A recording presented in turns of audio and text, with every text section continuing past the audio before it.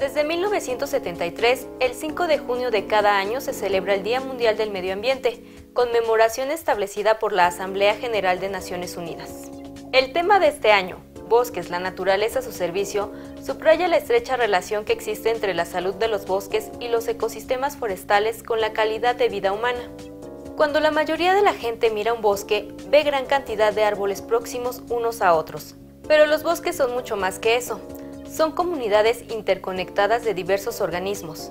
Tienen un alto valor de biodiversidad, producen numerosos beneficios económicos y son elemento clave para el bienestar de muchas comunidades depositarias de conocimientos ancestrales sobre sus recursos naturales.